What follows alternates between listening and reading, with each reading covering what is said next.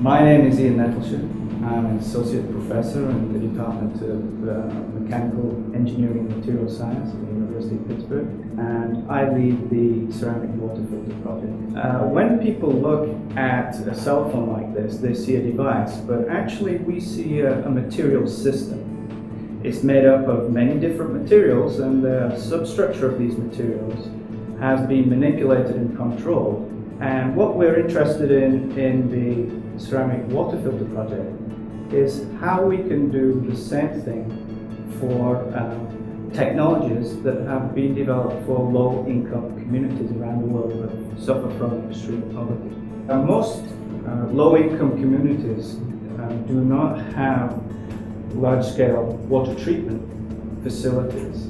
As a consequence of that, the drinking water is often contaminated by bacteria and other pathogens.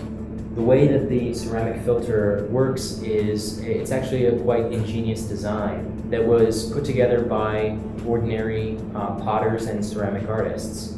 They take uh, an ordinary potting clay and mix in sawdust and then they fire it. When it fires, that sawdust burns out and it leaves uh, small holes, pores in the microstructure you know, we had to go there to see it to understand how the system really worked. We were working with trying to increase the strength because the filter as it currently stands is rather friable, it's easy to break, which is um, one of the big one of the big concerns in terms of individual use. A lot of folks, if they purchase one of these filters, it's cheap to us, only a few dollars, but to them, those few dollars, that filter needs to last them two to five years and if it gets dropped or gets broken, then they're out a lot of money. So what we're interested in is looking at uh, technologies that uh, address their basic needs. They need to be able to clean their drinking water. They need to be able to grow or trade for nutritious food, and they need shelter and things like that.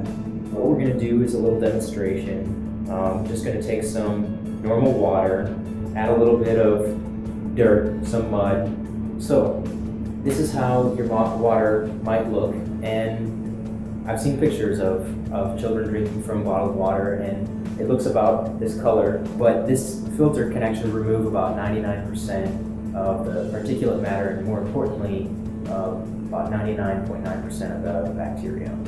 So we'll just pour it in the top so the typical flow rate of this filter is uh, one to three liters per hour.